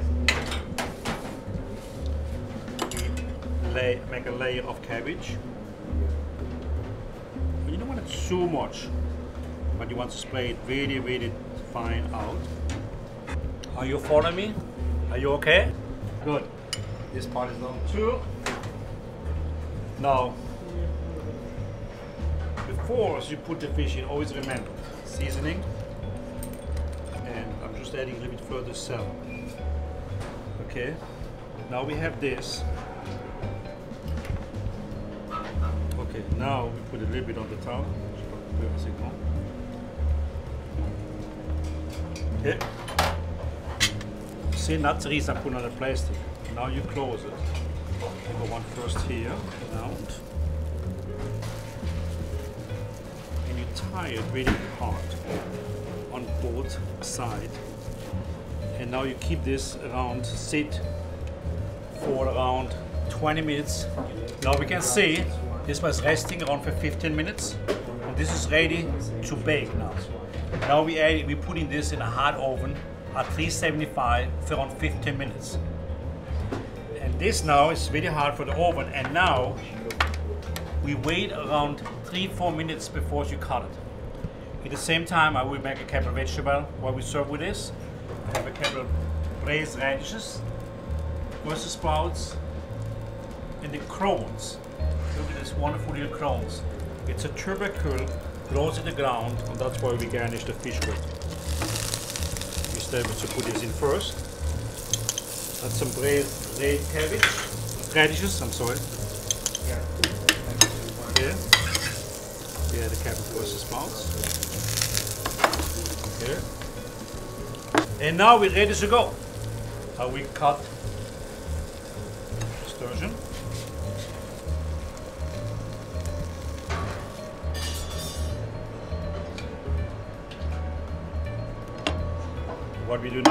dressing in which vegetable just a bit. Voila. Pinot Noir up just a little bit. Et voilà, les jeux sont faits. Filet of wild sturgeon wrapped in ham and braised in cabbage Alsace style. Bon appetit. Was so fun to cook for you. What a great time. Now is the next step. You can visit me at my restaurant and you can make a tour of United States. Classic Joe in Boston, Everest in Chicago, Paris Club. When you're tired about that, you can go to Studio Paris. You can meet me in Las Vegas in the Eiffel Tower restaurant. Maybe people heard about Hamburger. It's a French name for Hamburger. And maybe I'll see you there. Enjoy it. It was nice to have you all this evening. And I hope to see you soon. Bon appetit and still we're beginning in January. Have a wonderful year. Happy New Year. Share. After all that hard work. He's coming and he's coming. We have a chair for you. We do definitely have a, a regular chair. We need a regular Good red chair for the chair. chef. It's coming. They'll get it. Oh, thank you, Dessa. Dessa, we'll get Dessa a chair. okay, well. oh dear. Also, a bravo for her song first. I think it was Yes, a wonderful her song. song, yes. I heard it featured in the bag. Thank yes, you. That was yes, wonderful. yes, yes. Ah, here we go. Join the table. So, Chef, I want to ask you, and I'm going to ask everybody at the table. We'll start with Chef, but I want to hear it from everybody. So, we were talking about this creative process and how much of the success that you've all had, starting with Chef, but everybody, how much of it is work? How much of it is luck? Because that does play a role, and of course, how much of it is skill. So I'll start with you. Do you feel that you were born with a natural palate, or has this been hard work the whole way, or luck? Ma, no luck, I think, is maybe the last thing what happens. in The last thing. I think the most important, I grew up in a bigger family, and food was always my passion. Yeah. And it's still today. I think you have to be passionate. Mm-hmm. Why everything else after that comes easy. But when you have no passion, you never be successful. And I'm sure everybody on this table have the passion what they do. And I'm in the restaurant business. I'm passionate. I always talk.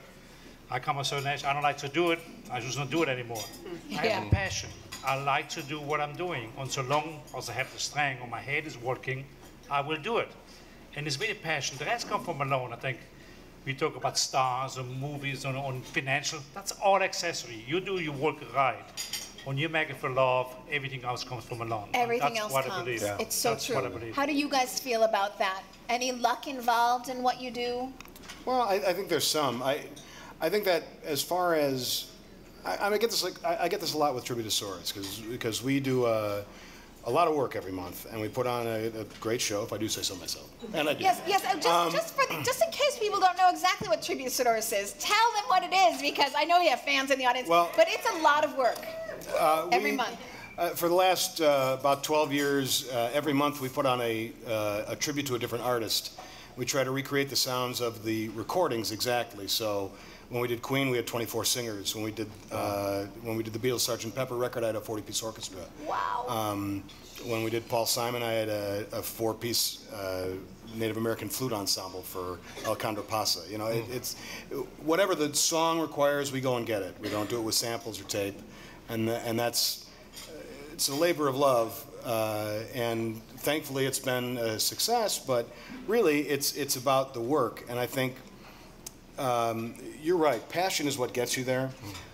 Work is what makes you great, and and ultimately. I, one of my good friends who plays with us all the time, I won't name him, uh, I've seen him go off on people who after the show come and say, oh my God, you're so talented. He says, can I swear on the show? You can do He it. says, Oh, I have Fuck seven you. times already." I am not talented. He says, I bust my ass on this shit. I put a fucking 200 hours on this month on this. So I'm not talented. Hear, hear that to is that. belittling Yeah. my work. Yeah. And it's true. No, I I, I mean, really, you're saying. you, uh, maybe there is an aptitude and a talent to it, but it comes down to you got to put in the time and you Yeah. got to study There's and work. no way around the world. You know, and that's that's what gets you good. And then I think uh, commercial success, there's some luck there, but but you're right. I think if But you put you know, the time. thing is also evolution for your savoir-faire, what you know in your career, what you evaluate, and that's the reason you become on this step where you take Absolutely right. success. Right. What I personally think comes from alone is all the knowledge what, what you're building up. I think this makes you mm-hmm. success. I think you know step to sing right away. It's all your learning experience. I think everybody on this table. It's not the first movie you saw. You said to critic. I'm mm-hmm. sure you saw that. I think it's all an evolution. You have to pay your dues It's not the people step. that, oh, people creating recipe. is not. It's an evolution for new craft, what you have during the all years, what you have going on. You don't come up with something very new like this, or yeah, you can, but I have no sense. Right. But I think it's evolution of what you're doing in your career. And I think Well, so many one-hit wonders or band like uh, these guys that came out of nowhere. You find out, oh, they've been on the road for 15 years. right. yes, right, exactly. By the way, Chris, when are we going to get the Starland vocal band show? Come on, man. I've we been did, waiting. We did. We did. Do, we did uh, do uh, Afternoon Delight on the Delight. '70s One Hit Wonder show. Afternoon delight, won- and I missed it. They Oh. won Best New Artist. They won the Best New Artist Grammy that year. Who did they beat? Who knows? They beat Boston. So, Wow, I, I should give you a tweet prize for that. That was some pretty good. Thank yeah. you. I'd like the chocolate. yeah, yeah, I bet you would like the chocolate. Well, so this brings me up to another question then. Since we've kind of all agreed it's it's hard work that really is the bottom line. Although I will have an anecdote.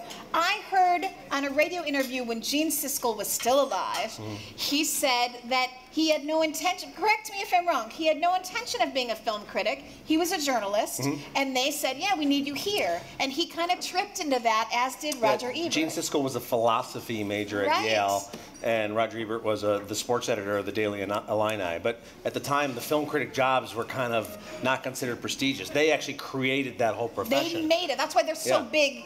Yeah, and I want to go back to something that Dessa said earlier about be Yeah. excellent, because Yes. that's true. And the same thing the two gentlemen were saying. Uh, when that door opens, you have to be prepared. Right. And yes, there's a little bit of luck, but when people say to me, and I, I, I get it, they don't mean to be insulting, but people say to me, I get this every day, I get this on Twitter. I want your job, they say. And I'm like, I, I, I, what job? Which job do you want? I want your job. And I know what they're saying. They go, I want to watch movies for a living. It's about 5% of what I do. Yes. And it's it's all about the hard work. It's the you know the Malcolm Gladwell thing about doing 10,000 hours of something. Yes. When I started at the Sun Times, I was 23 years old, and I got a job there basically answering the phones and getting coffee for other reporters. And I kept sending you know giving the editors my writing samples. And when the managing editor of the paper took me out to lunch to say, "Have you ever thought about being a columnist?" I reached into my briefcase and I handed him 10 sample columns that I'd already written. Right you know, there, do yes. the work. Don't say, "Oh, I want this to happen to me." Sarah Right. Silverman always says, this. when people say to Sarah Silverman, "I want to do this, I want to do that," she always goes, "You're never going to do it. You're just talking about it. You're never going to do it." That's why Nike is worth 80 freaking billion dollars. Just do it. Just do know? it. Yes, yes, But yes. you have to be ready for that moment. Building off of that, oh my poor paperweight. Um, building off of this idea, I wanted to ask you because you had talked about this evolution to get to a recipe that you think is good enough. I'm curious for all of you, but I'll start with chef, and then I have a tweet for you. Um, where do you get your inspiration to create? And for all of you, but we'll start with chef. the most important, I think, is the ingredients. Ah, they inspire you. They inspire me. When I go on the market or go in the store or in my house, I have the ingredients when I use. This gives me the impression. Yeah. You have a great vegetable, a great piece of fish. That's gives me. when you give me a very old piece of vegetable, I have no inspiration to cook with to ah, make it. Yes, It's right. all- Yes. It's all about what you find. Oh, Number one, I always believe a chef want to eat his own food, never go eat in his restaurant. And I can tell you. Yeah, I don't like those skinny chefs. Yeah. What's up with that? Wait, wait, tell me that again. I'm not sure I caught it. Say that again. I believe, as a, when it's more as this, I believe as every chefs will, will feed with their customer have to be able to eat the same thing. Ah, yes. When you go in a restaurant, you have 60 course. I want to know which chef who sits down and eats the 60 course. He will not. Right. I see and what I you're believe saying. as you have, you, you, you have to eat your own food. Do you, Have you ever drawn inspiration synesthetically? Have you ever drawn inspiration from something that is not food? Or no. does it usually stem have from to be food. ingredients? Have to have to be the ingredients. Shut up! It would have been cool Yeah. if Look the at Graham, said, it would have been so awesome.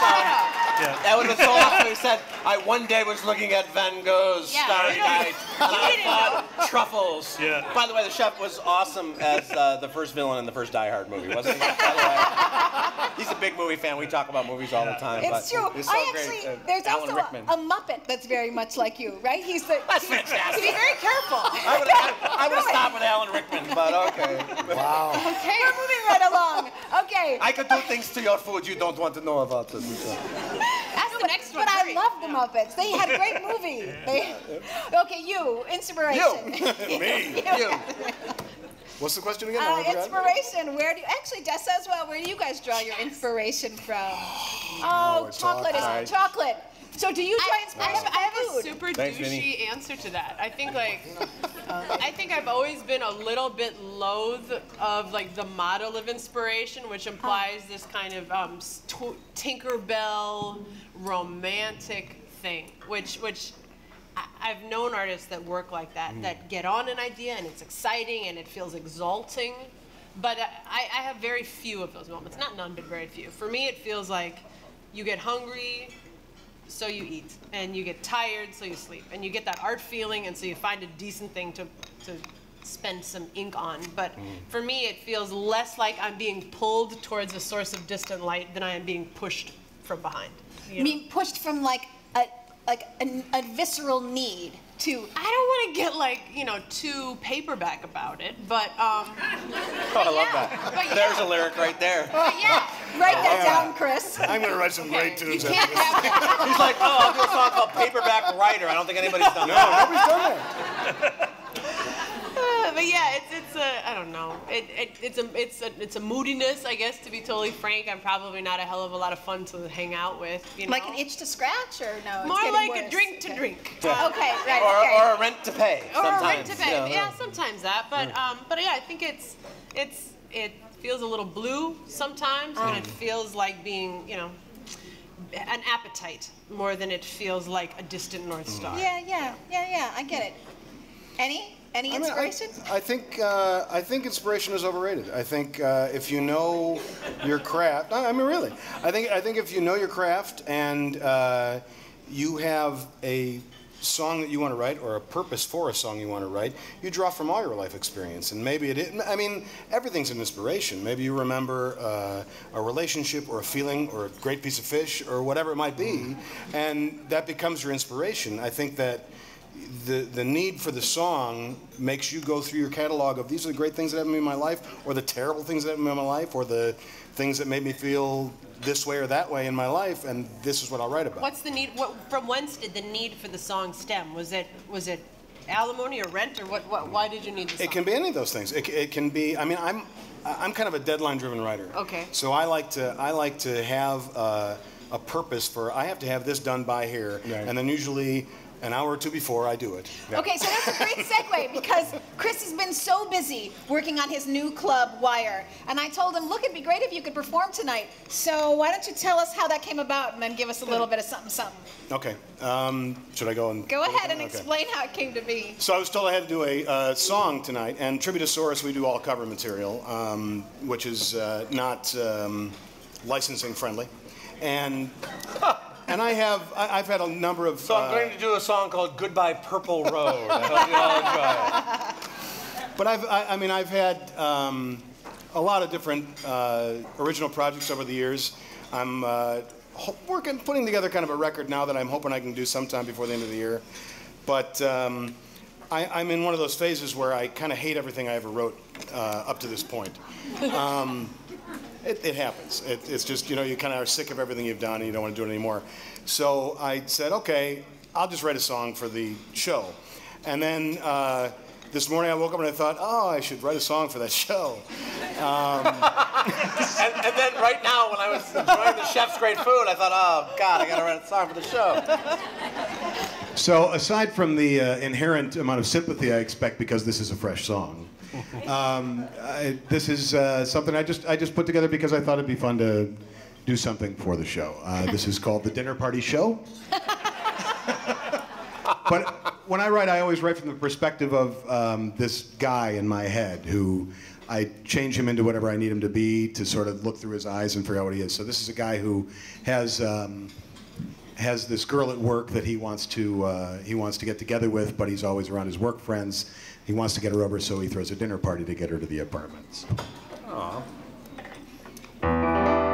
Now I may forget the song halfway through, but that's okay. I'm writing it as we speak. So the food is done, the wine is poured. Now I listen for the door. Hope that I can put on this charade. Linens on the table, the candles warm, soft glow. Now I think I'm ready for the dinner party show. Well, you sure look nice tonight, the way your eyes catch the moonlight. Don't think I've ever seen your hair that way sure looks great. How about the weather? It's insane. And oh yeah, work's been such a pain. It's great we had some time to see the whole game. But inside, I want to hold you, want to take you in my arms. And all these other people fade away. Had to throw this party just to get you here tonight.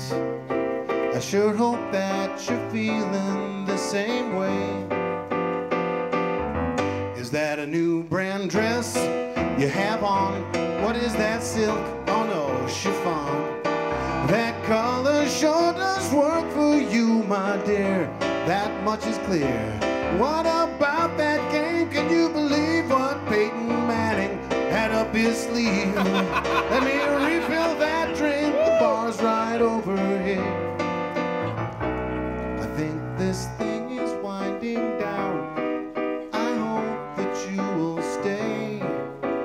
as everybody's heading for the door. I catch your eye and know right then you're wondering the same. We need to clear this room for something more. So don't forget your hat or your gloves. Please send my family all your love. We really should do this again real soon. I'll check my book. See you at the office there, my friend. You have your keys, good. See you around the bend. We'll finish this again Monday afternoon. I hope to get to be there real soon. Ah, real soon. I'll take care of that drink. Have a good night. Finally, that friend has left the room. So here we are alone at last. Let me refill your wine. The best part of the party's here. The time when you're all mine. Yeah, all right. Inspiration coming from the dinner party. Storyteller, Such right an honor. Storyteller is right. I'm gonna. Uh, That was that was pretty. Um, do you like to say tight? Can I say that? Well, that's what you said the other day. Like that's not tight. Okay. But I had a I had a. Do you know Kevin Coval, spoken word poet? I don't. No. So he was saying the other day on the show, the last time you were on a show, that's so. Pimp? No, that's so. There's a new phrase that. Uh, dope. That's pretty dope. I don't Not think that's it's new. not- That's that's not- I remember. I remember when Richard Nixon finally said, "That's so dope." That's when it really was sweeping the nation. Almost is true. I have a tweet for Chef, and this person. And by the way, I'm just going to do the quick Nelson Mandela interpretation for those of you who need some help with the chef. Uh, let's do the- Too soon? Too soon? He was 95, okay? Too soon. Too soon. I, I don't understand what's going on. Thank you. Two people over there knew what I so, was saying. this person, dinner for two at Everest. Wow. The rest of you missed out. Jay Robinson, what motivated you, chef, to leave France and come to Chicago to start a French restaurant 29 years ago? Well, uh, at the time, I was approached by the owner of one to reopen Maxim's in 1984. And I never was United States. I never spoke word one of English. I thought, well, why not? I find out what United States is. I came here. I find my wife the first day. And I stayed. Well, how did you meet your wife the She- first day? She was the restaurant business. At the time, she was running a restaurant. I opened Maxim, so the same company have Mm-hmm. the Bastille restaurant. And I came for the flight, the owner for the company. We don't sleep the first day together. We- I just meet her the first day. I have to We are not asking. We are. But I think it was the first day. I meet her the first day. She was waiting. The plane was around six hours late. I landed around 11 o'clock at the night. And I meet her the first day, but also I saw Chicago and I saw the potential of what the city had. Yes, right. And uh, at the time, about four chefs with me to run the restaurant. I thought, you know what? I started and I left, and I never left after that. Wow. But I really like Chicago. I do. Yes. That's great. We appreciate that so much. Well, you know, sort of Wow. building off of what you said before, that you, you've seen things change because now you can get ingredients that you couldn't get 29 years ago, and, and you've seen sort of the development on the restaurant end. How have you noticed that the public has changed over 29 years? Well, I think number one, you have it's a sophistication happening. Yes. I Yeah. think they know more about it. Mm. But So I want more. to give you one little trick. What I think is important. Just always remember, what you put in yourself in your body, you are the only responsible for that.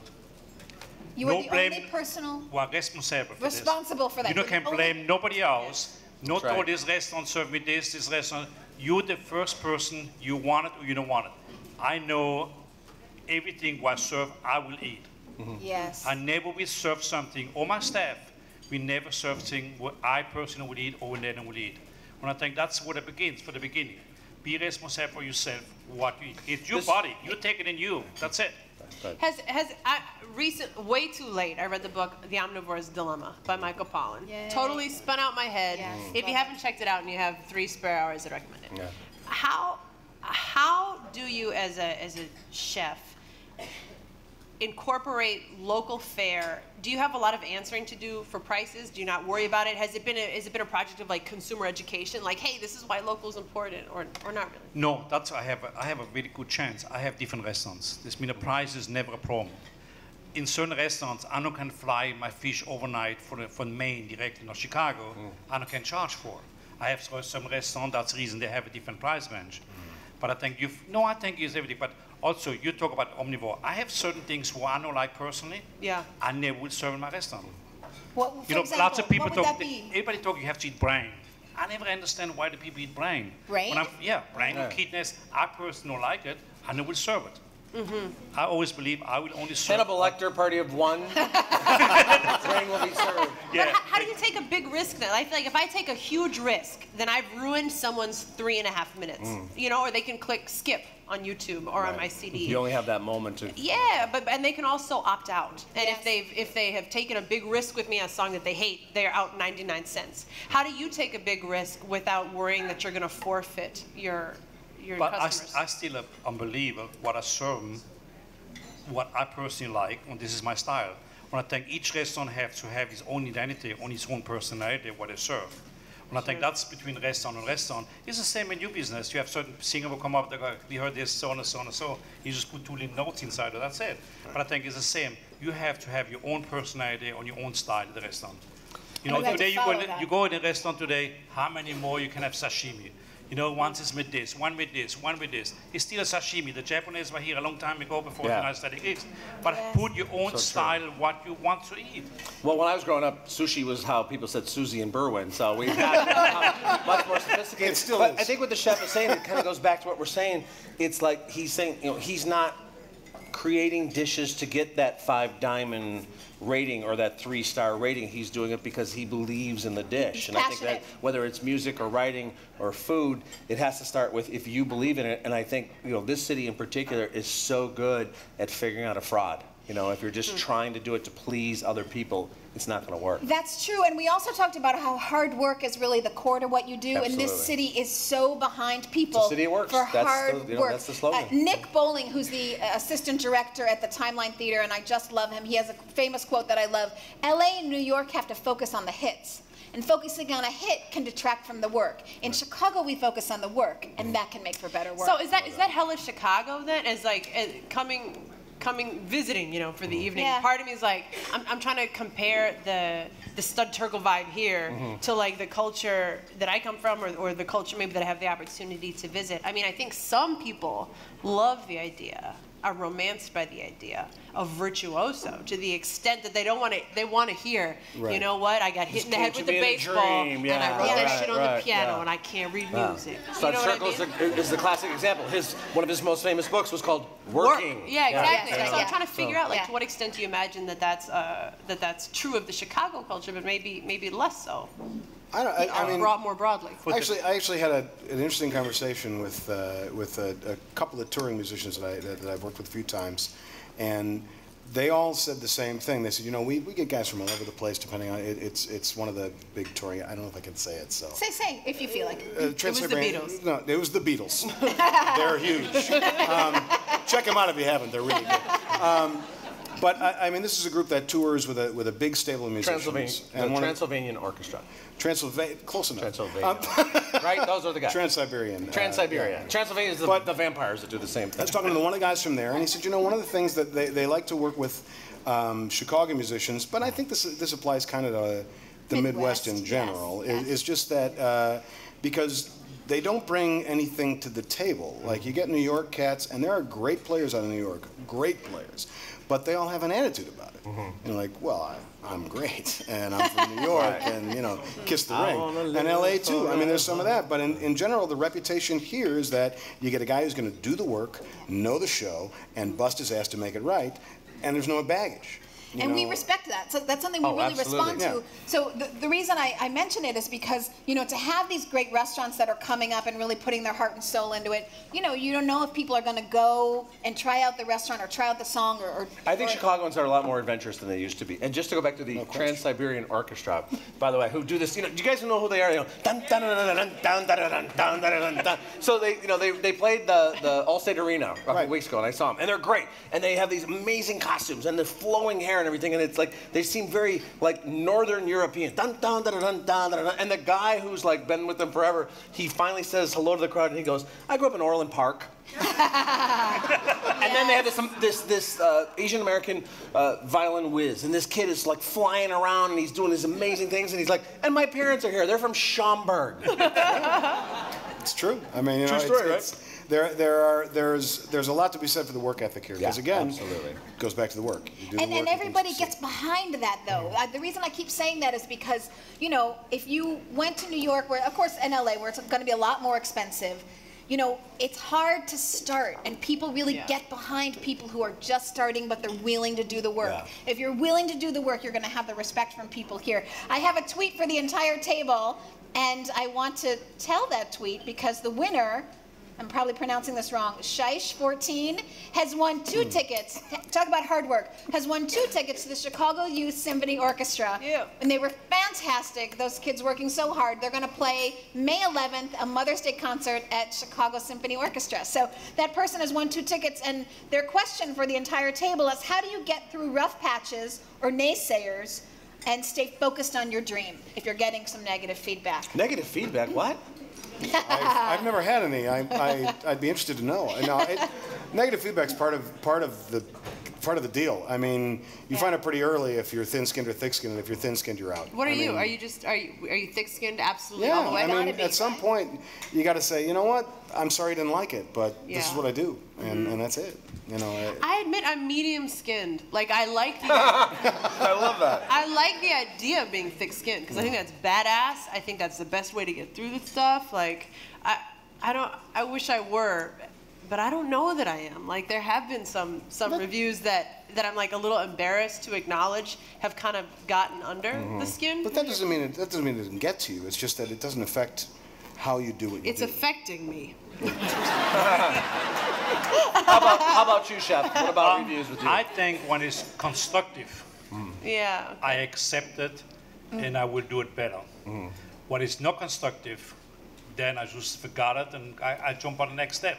Yes. But I think when, and personally can happen, everybody makes mistakes. When I have somebody who have a critic or call me and say, have a bad meal or write me a letter, in general, I have so little in general, I call the customer myself. Right. Cool. Well, I think mistakes happening, maybe I, I don't know about, I want to learn, on two mistakes you learn, and then in general, that's the best way to handle it. Yes. So long as it's constructive criticism, I love it. And not just abusive or, yeah. But when somebody told me, oh, they like the, you know, they don't like this, this, uh, the venison, they don't like the chop, they don't, they don't like the fish, and they don't like, yeah, we like nothing, why we are vegetarian, we only eat raw food. Well, Happens when you answer, they And, go, I, like, goodbye, I, I hope goodbye. you find a restaurant that you do like.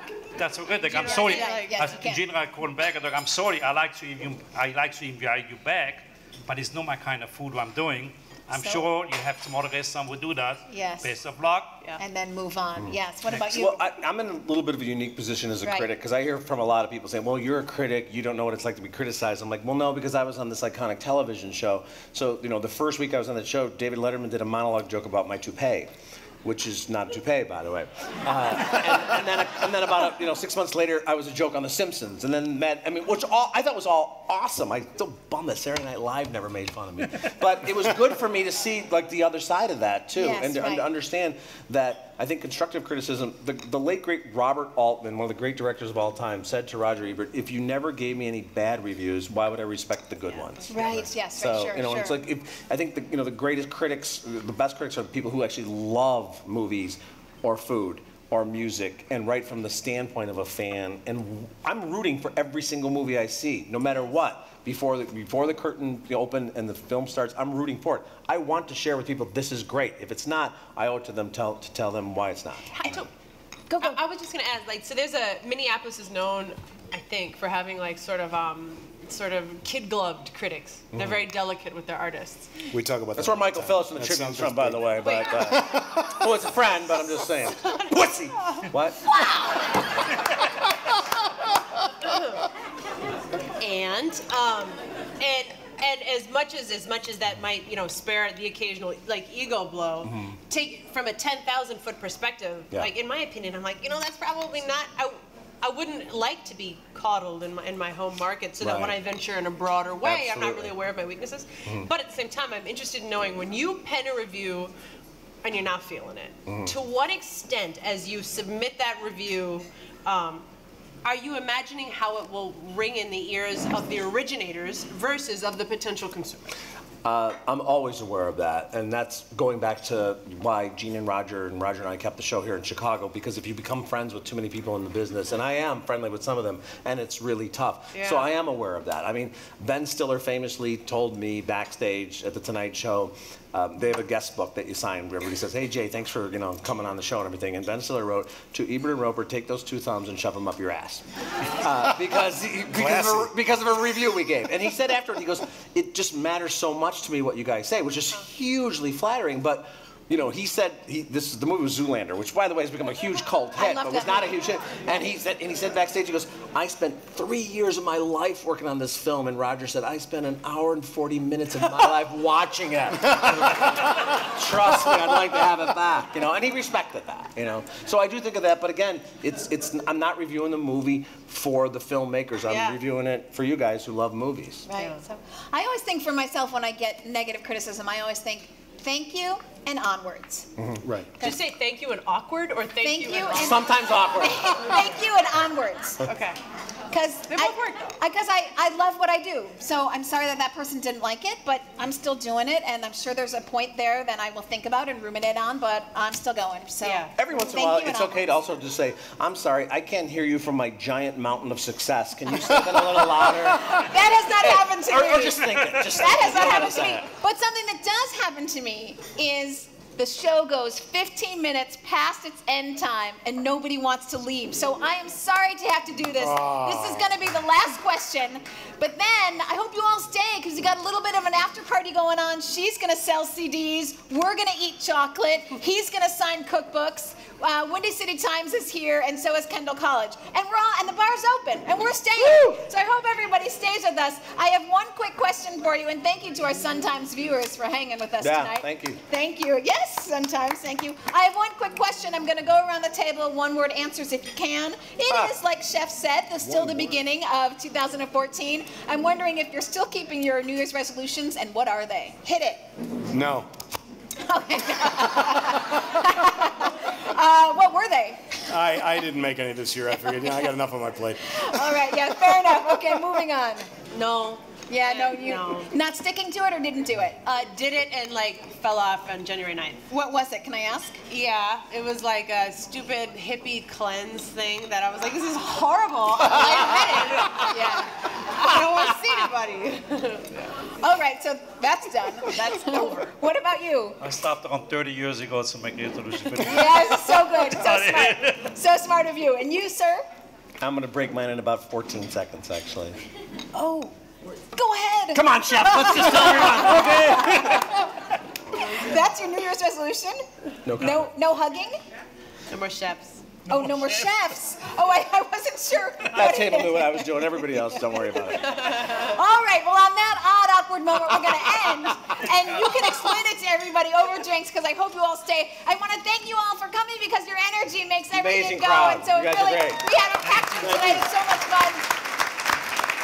Of course, I thank City Winery because they're so great at what they do and they really help us coordinate these details. Um, I want to thank Chris Neville, lead singer of Tributosaurus, and Wire owner. We're all going to Berwyn. We are all I'm going to Berwyn. Berwyn. We're Berwyn. Berwyn. Berwyn. First time that's ever happened. I, I want to thank Dessa for performing and being with us in Minneapolis. Really so exciting to have her here. Thanks for coming. I